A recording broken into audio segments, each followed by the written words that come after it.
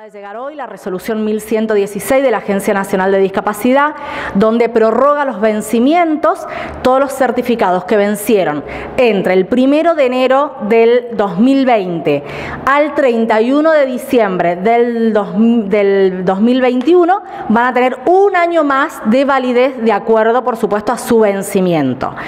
en el 2021 solamente vamos a poder hacer los trámites que sean por primera vez reagravamientos o que hayan extraviado su certificado único de discapacidad. Recién en el 2022 se van a renovar si les pedimos que estén atentos al mes donde se vence y que concurran seis meses con anterioridad para ir a buscar los requisitos, acercarse al sistema de salud y poder completar la documentación. Pero que se queden tranquilos que ningún derecho puede ser vulnerado y de ser vulnerado alguno de ellos hay que hacer los reclamos pertinentes, pero no se les puede caer ninguno de los derechos, ni transporte, ni oblea de libre estacionamiento, ni cobro de salarios y asignaciones, eh, ni cobertura de las obras sociales, por supuesto. Que por más que esté vencido, no se asusten, pero sí recuerden la fecha. Son los vencidos entre el 1 de enero del 2020 hasta el 31 de diciembre del 2021. Todos los que están en ese periodo, que son dos años completos, pasan a vencerse en el 2022.